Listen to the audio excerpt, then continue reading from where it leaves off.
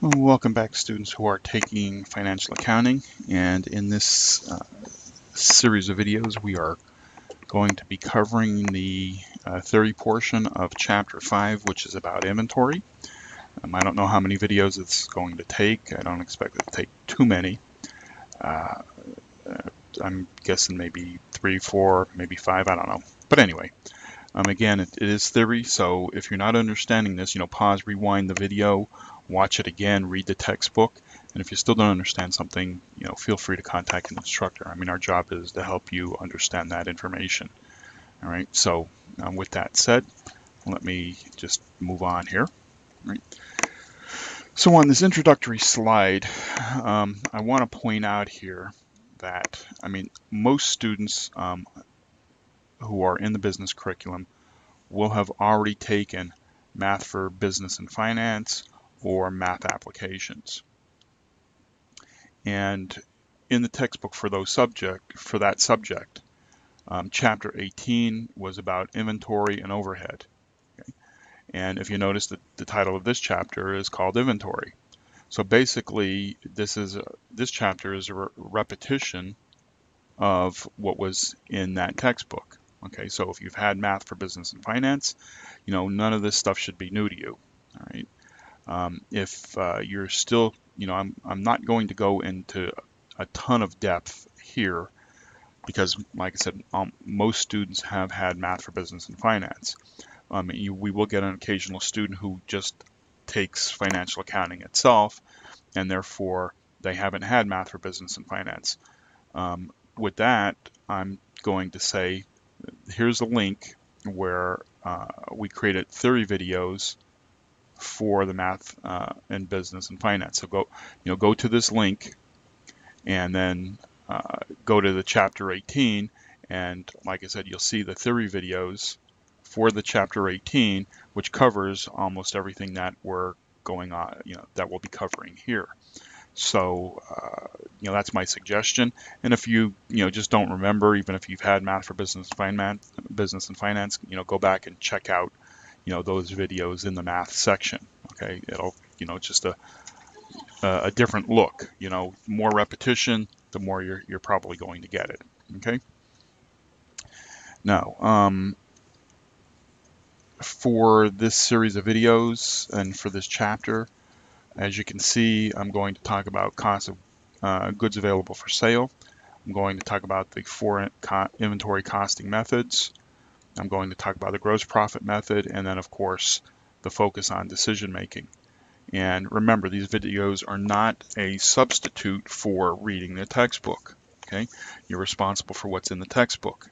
Uh, these are supplemental videos, right, um, to help further clarify and explain the, you know, the concepts. And you know, these are not being professionally done. I mean, I'm brain dumping. I mean, I'm just sitting here and I, I scan through the chapter and said, okay, here's where students seem to have problems. Um, here's important ideas and concepts.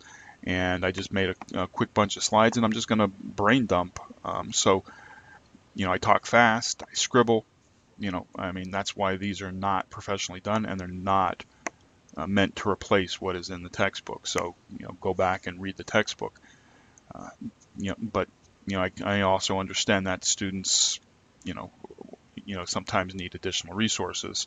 And so you know this here is like a one-on-one conversation in order to be able to hopefully help you get it.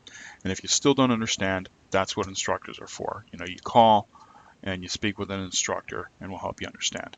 All right now um, the very you know I have here on the screen uh, the word the words goods available for sale. All right. Now I don't have a separate slide for it because I don't think it, it warrants an entire slide and whatever have you. So I'm just going to scribble here.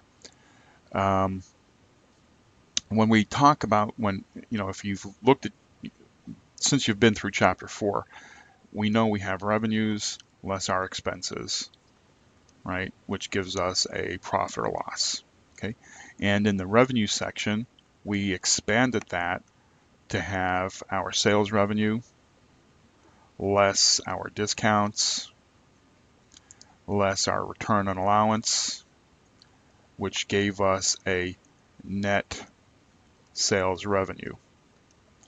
Right? And then from the net sales revenue, we take away our cost of goods sold, okay, which gives us a gross profit. And then from the gross profit, we take out the expenses in order to get a profit or loss.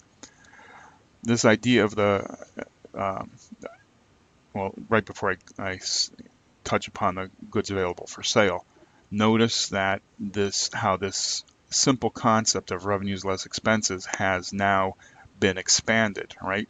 In our revenue section, now we have, you know, all of this, right? So we've expanded our revenue section, right, to include all of this. And what we're going to be doing is, right now, we're going to be saying, we're looking, we're going to look at the cost of goods sold, right?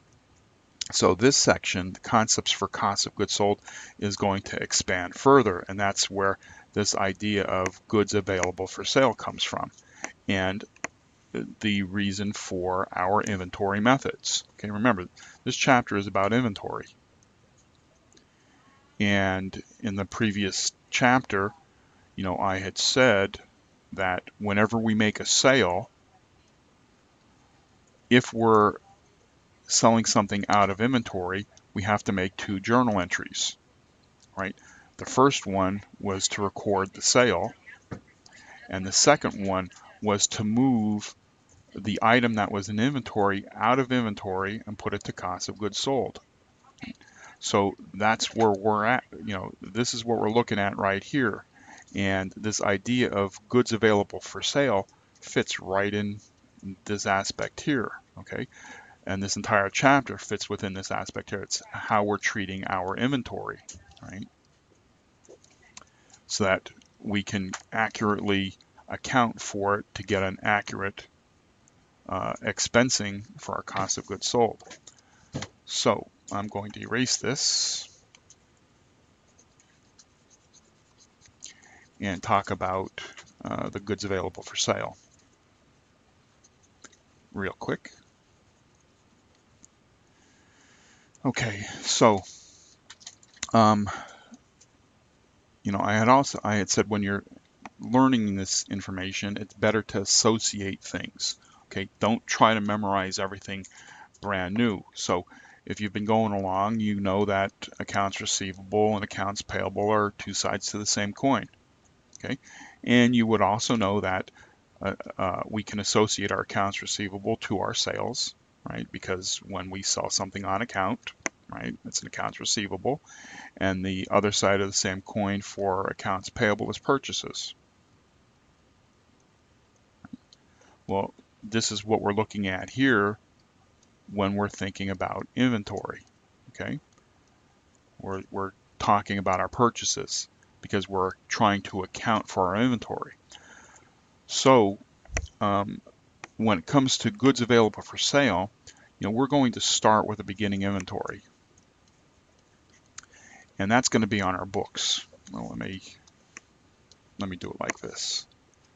Um, I'm going to call I'm going to make this side our books and this side our physical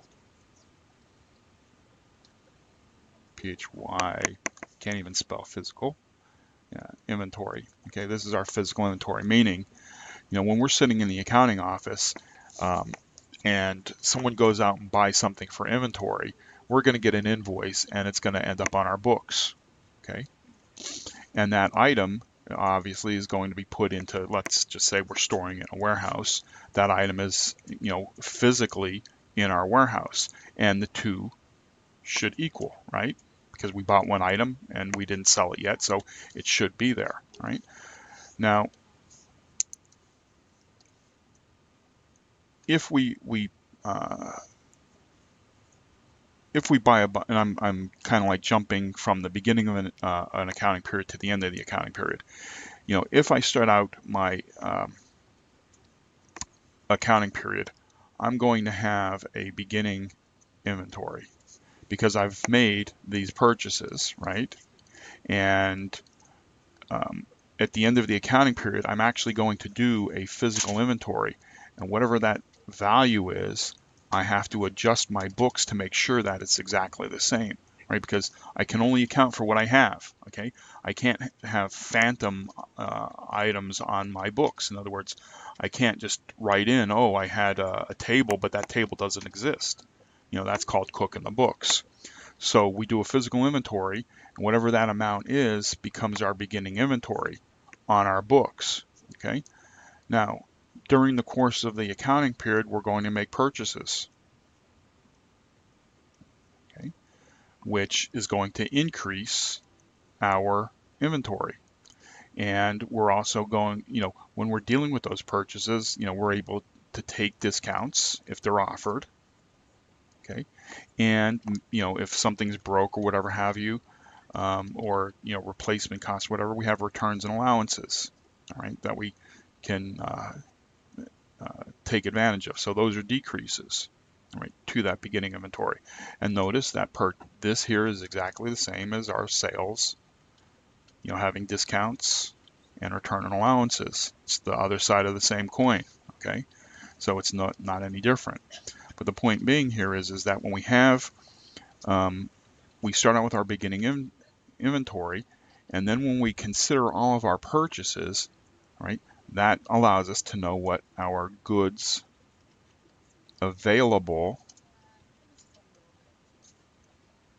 for sale are. Right? These are the goods that are available for sale. Okay? It is not our cost of goods sold. Right? Meaning, if I had started out with 100,000 in beginning inventory and I per and my purchases, my net purchases, meaning purchases less returns and allowance and less our discounts. Let's say my per, uh, my purchases ended up being an additional 50,000. Okay, my goods available for sale is 150,000. That is, you know, that's my goods available for sale. That is not my cost of goods sold because why? I, you know, it doesn't reflect what was sold. Okay, I have 150,000 available, but when I take out, you know, let's say um, I sold $75,000 worth, okay? Well, that 75,000 that I sold, that's my cost of goods sold. So my ending inventory ends up being 75,000. Okay. I realize, I mean, we're going to go through this and you've seen this in the math, uh, you know, in math for business and finance, right? But the whole idea here is, is I want to introduce you to this concept of goods available for sale.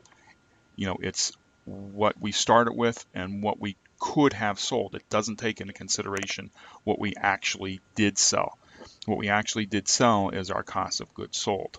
Okay, and as we go through um, our costing methods and so on and so forth, especially our gross profit method, you'll see how um, this idea of cost uh, goods available for sale and the relationship to the cost of goods sold is. Okay, so with that said, um, I hope I know that kind of like got a little uh, convoluted there in the writing.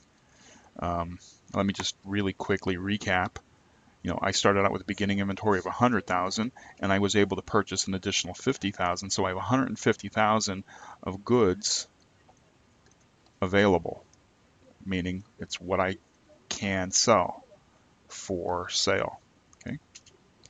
Now, if I have that 150,000, and I'm going to change the number here. Let's say I sell 60,000. Okay. Now my ending inventory is 90,000. Right. That's my ending inventory.